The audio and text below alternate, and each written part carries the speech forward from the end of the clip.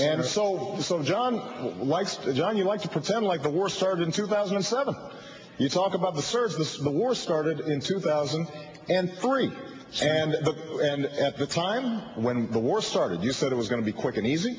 You said we knew where the weapons of mass destruction were. You were wrong. You said that we were going to be greeted as liberators.